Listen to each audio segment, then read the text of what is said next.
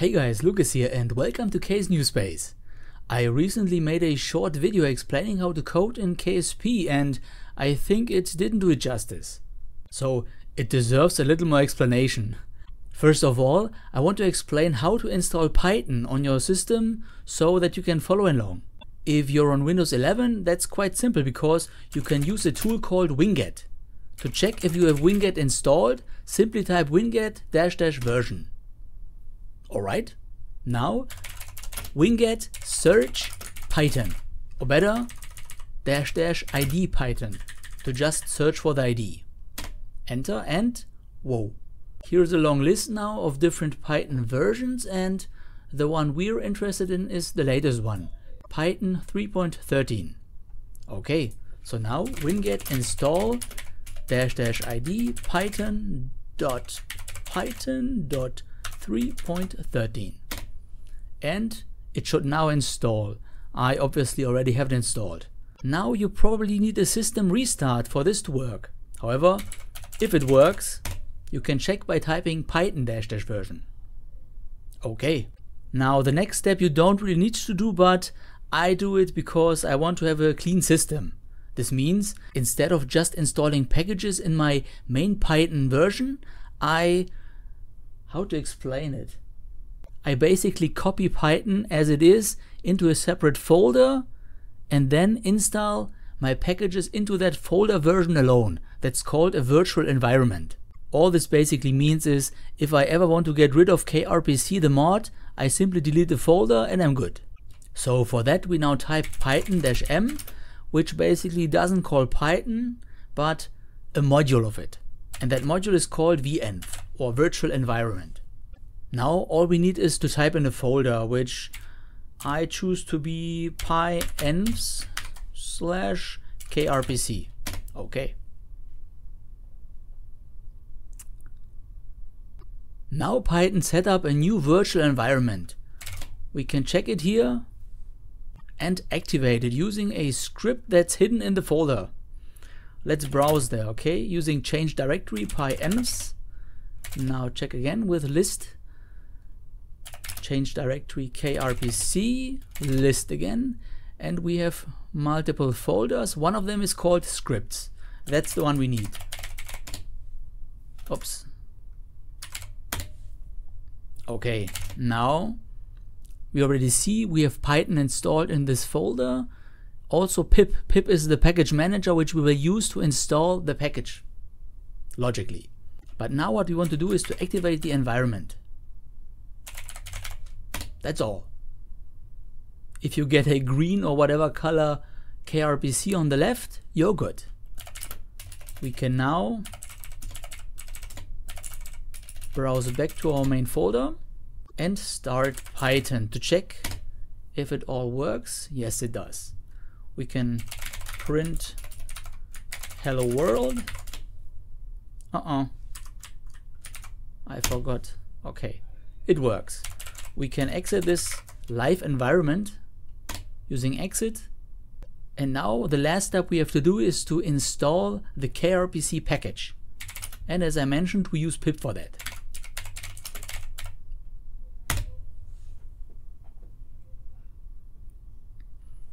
Okay, that's finished. We can now check the list of all the packages and as we see, we installed krpc and protobuf. Protobuf is, well, I don't know, but it's some kind of dependency. Okay, but now we can finally start the code in KSP. For that we again start Python, clear the screen to remove the clutter and here we go. Now in KSP, if the mod's already correctly installed, which by the way is linked in infobox, you click on it.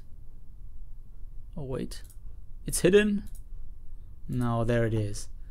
Okay, krpc and all we have to do is to click start server. Now here's a bit of IP address stuff, but we don't really have to worry about that. All we have to do is to go back to our window and type import krpc. Ooh, that worked. And now we have to connect to the server in KSPC. And that is done by, well, link is a variable. And we say link equals krpc dot connect and we choose a name for our connection. I choose bot. Why not? It worked. Or if it worked, we really see here. Bot at, that's the IP address. We're now connected to KSP and well, we can read data or write data. On how exactly that works, you can read in the official KRPC documentation.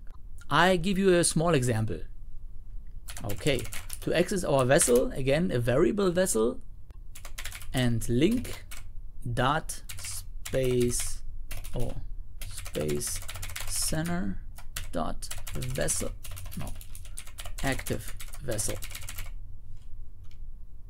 so we have our link we access the space center api and that space center api again has a class or a, an object called active vessel and that, that active vessel is returned into our variable vessel. We can check it. Okay, vessel is now a KRPC services space center vessel object. And that vessel object has different functions or variables. One of them is name.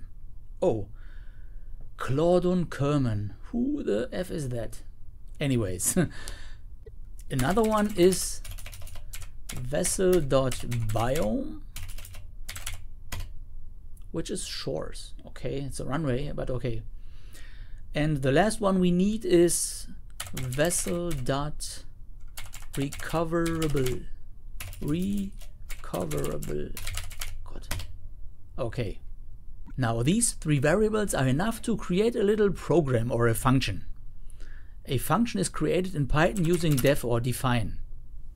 Now the name is show biome and we need a variable vessel or parameter I think it's called. So the idea of this function is to run a loop and in that loop all we do is print the biome we're currently in. So far so easy and that loop is a while loop. And I want to stop this once I land. So we can use our recoverable variable to check if we're not recoverable because we're in flight. Vessel dot. While not vessel recoverable? Print vessel dot biome okay now this would quickly spam our full screen so what I also want to do is to sleep for a second every time I print so it prints once a second and that print function we first have to import import from time, I think, yes. Time is a library, a standard library of Python. Okay, that should work. Okay, that now doesn't work because we're not in flight yet, but we'll change that now.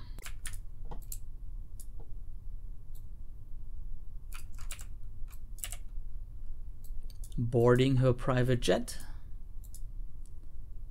lifting the legs or extending the leg.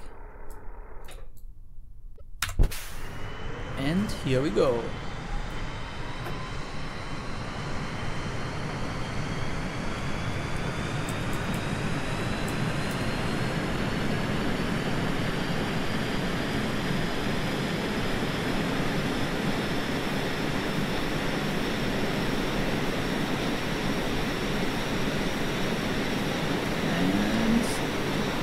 Holy moly, I'm quite heavy, I notice.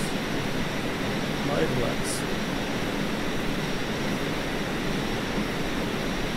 Now, because my multitasking is pretty bad, I have to pause, get the window back. Now we should, oh no wait, we first, now because we changed vessels, we of course have to assign a new vessel link dot space center dot active.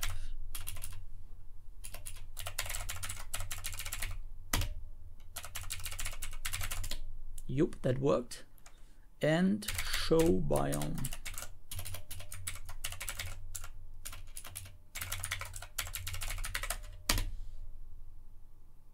Wow, it works. Not quite that surprised because it already worked in the short video. Okay, where do I put this window here?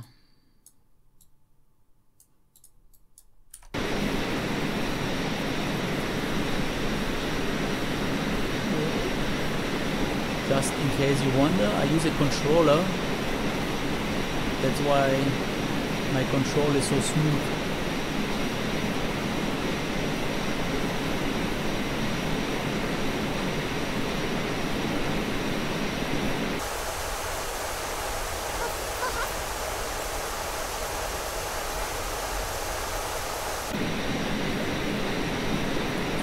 It works. Okay, now let's check some mountains too.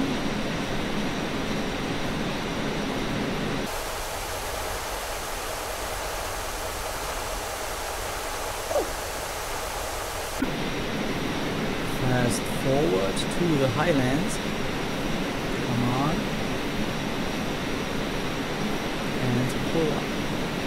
There we are.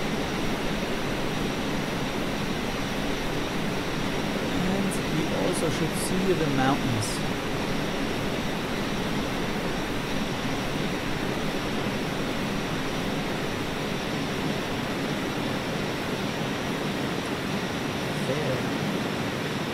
Okay guys, that's pretty much all I wanted to show. Let me just fly over the mountain and finish this video.